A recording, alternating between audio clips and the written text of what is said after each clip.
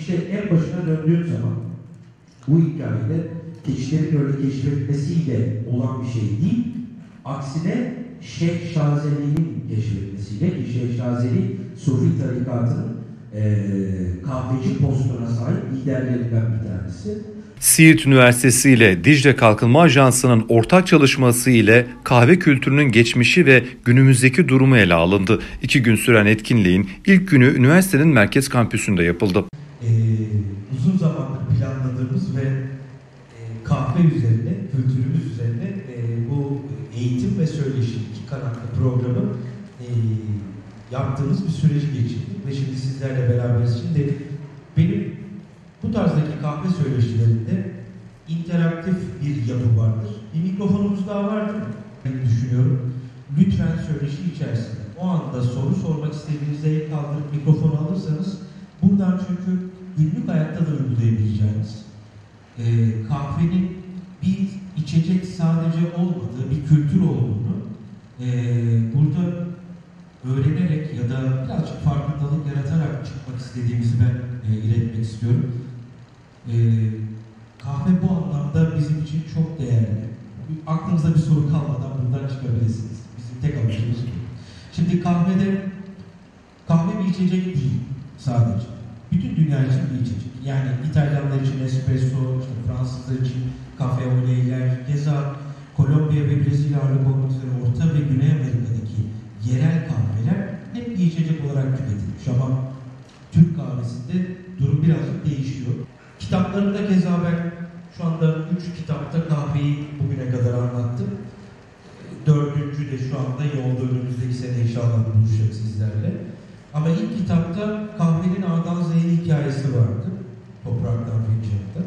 İkinci kitapta yerel kahveler vardı ama üçüncü kitap Ahde Vefa'da geçen sene çıkan biz Türk kahvesinin yolculuğunu A'dan Z'ye anlatmaya çalıştık. Şimdi bu anlatış içerisinde de çok ilginç tarihi belgelerle bazı şeylerin e, değiştirilebildiğini gördük. Mesela kahvenin keşfi. Herhalde şu anda telefonlarınızdan bile kahve nasıl keşfedildi diye sorarsanız, e, Google'a, Google'a sorarsanız, e, keçilerin böyle otlarken kırmızı yemişleri yiyip hoplayıp zıplamaya başladığı hikayesini görürsünüz. Bu hikaye tabii gerçek mi, doğru mu, yalan mı bunu tespit edebilmek biraz zordur çünkü birçok kaynakta bu tarzda hikayeler ve bunu birazcık daha şekillenmiş halleri var. Fakat hikayenin aslı böyle değil çünkü bu bir rivayet.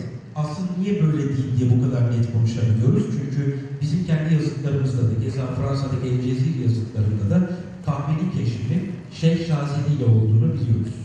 Kahve ilk önce Etiyopya'da keşfediliyor ama yemek olarak kullanılıyor. Yani özellikle ekmek yapımında öğütülerek un kıvamında kullanılan bir nesne. Fakat kahvenin ilk içilmeye başlandığı yer bilen var mı? Nereden geliyor kahve? Yemen. Kahvenin ilk içilmeye başlandığı yer Yemen. Ee, yaklaşık 13. yüzyılda 1250-1255 tarihlerine denk geliyor. Bunu da biraz evvel bahsettiğim gibi hem Evliya Çelebi'nin seyahatnamelerinde de atıflar var. Ee, ama El Cezir'in yazıtları çok net olarak söylüyor. Şeyh Şazeli'nin keşfiyle başlıyor kahve. İlk olarak içilmeye. O sırada Şeyh Şazeli'nin Kühu Esbab denilen dağ sürülme hikayesi var. Ve kahveyle hayatta kalıyor. Kahveyle hayatta kaldıktan sonra bu duyuluyor ve Yemen'de içilmeye başlıyor. Kahve, kahve içilen yerler, kahvehane değil, kahve içilen yerler türemeye başlıyor.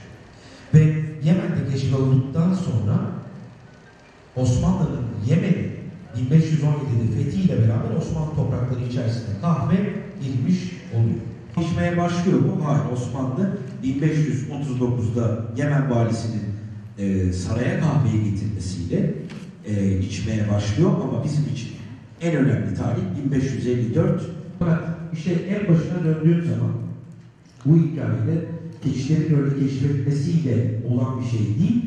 Aksine Şeyh Şazeli'nin keşfetmesiyle ki Şeyh Şazeli Sufi tarikatının e, kahveci postuna sahip liderlerinden bir tanesi ve sabaha kadarki zikirlerde padişah bunu engellemek için zaten e, 4 ya da 5 tane büyük yasağı var ama hiçbir yasak e, kahveyi engelleyemiyor. E, hatta kahvehanelerin önü e, berber dükkanları, berber dükkanları o dönemde vergi olarak Osmanlı'da e, kahvehanelere bağlı, kendi bir bidatları yok. E, ve Can Tevenot'un 17. yüzyılın sonunda yazdığı İstanbul kitabında şöyle güzel bir detay var. Osmanlı'da e, o kadar çok berber dükkanı var ki bu kadar saçını sakalını kestirecek insan yaşıyor mudur? Meslek Yüksek Okulu'nun ev sahipliğinde gerçekleştirilen söyleyişe konuk olan gastronomi yazarı ve kahve uzmanı Cenk Girginol tarafından kahve kültürünün dünü ve bugünü hakkında bilgi verdi. Kahve türleri hakkında da bilgi veren Girginol bölgemizde sıkça tüketilen menengiç katılmış kahvelere değindi. Kahvehanelerin ortaya çıkışı ve Osmanlı dönemi ile günümüzdeki yapıları hakkında da bilgi veren Girginol, kız isteme genelinde kahvenin rolünü anlattı. Etkinlik kapsamında üniversitenin Kezer kampüsünde 10 kişiye sınırlı bir eğitim çalışması gerçekleştirilecek. 3 yıl uğraşmış, 1 yıl uğraşmış.